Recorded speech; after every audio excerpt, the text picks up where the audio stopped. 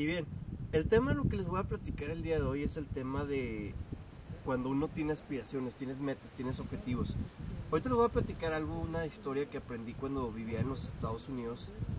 ¿Y cuál fue el objetivo, el plan? Porque todos tenemos un plan, tenemos un deseo de superarnos, ¿no? Y está excelente que tú tengas ese deseo de superarte. Ya lo había dicho en un video anterior porque difiero totalmente de Diego Rosarín y luego bien directamente este, las razones por las cuales yo difiero, su manera de ver las cosas y no voy a hacerle publicidad con este video, simplemente le digo a todos los que tienen deseos de, de superarse, les invito a que borren de su canal ese tipo de personas y también a los que tanto están juzgando y criticando el capitalismo. ¿Saben por qué amo el capitalismo? Y ahí les van las razones del por qué. Cuando me fui a vivir a Estados Unidos, este, mi meta y mi objetivo fue juntar dinero para poder pagar mis estudios, mi licenciatura. Mi padre en ese entonces traía una situación donde le pegó una situación del infarto y aparte él me dijo, yo no te puedo pagar lo que tú quieres de estudios. Yo quería estudiar en una universidad privada. Entonces me fui a Estados Unidos, trabajé, junté dinero Regresé aquí a México en el 2006 y comencé mi carrera en licenciatura en Mercadotecnia. Me gradué hasta el 2010.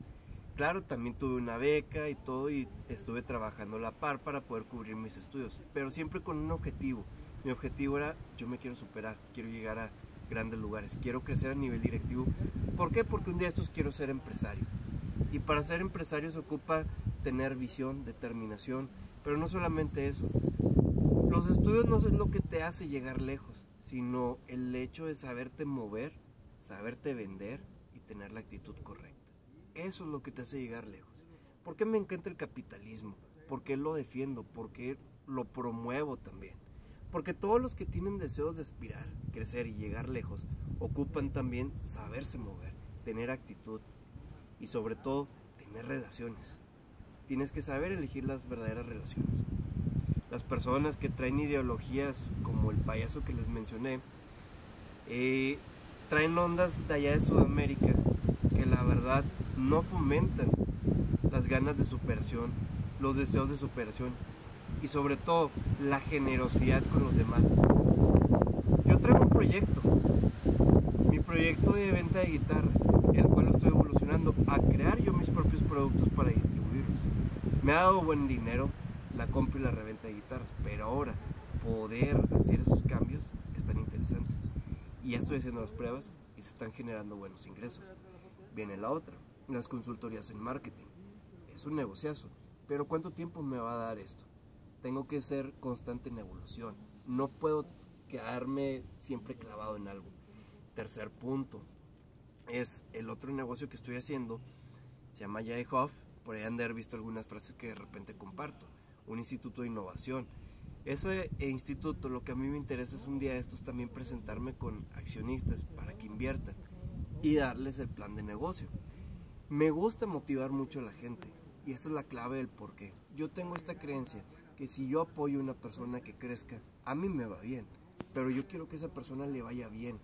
Y ojo, mi visión es muy diferente a la de otras personas que dicen que quieren que les vaya bien, pero no quieren que crezca más que otros. A mí me gusta que la gente pueda crecer más que yo. Simplemente porque es bendición. Si yo bendigo a una persona, esa persona me bendice a mí. O a lo mejor no me bendice, pero la vida sí es justa y es correcta. Y me gusta esto poderlo compartir, lo quiero compartir contigo, porque si tú tienes esta visión, te va a ir mejor a ti en la vida y ocupamos esta visión. Soy 100% regimontano y olvidemos si somos 100% o no, o X o Y. El punto de todo esto es, mi visión es esa. Yo tengo el, esa visión de don Eugenio Barzazada, que inclusive lo pueden ver en su diario de Cotemo, está muy interesante. Todos los puntos, todas las bases que debemos de tener como personas, como individuos.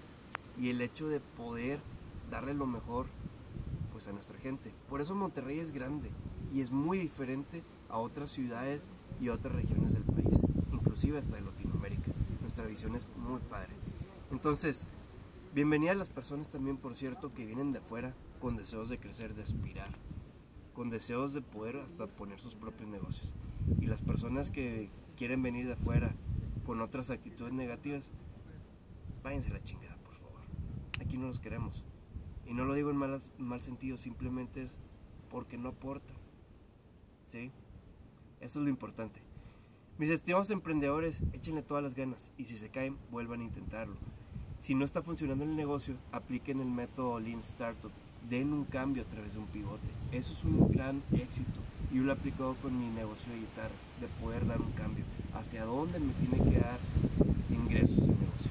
Pero bueno, eso ya lo veremos en otro momento. Mucho éxito, Dios me los bendiga y darle con todo.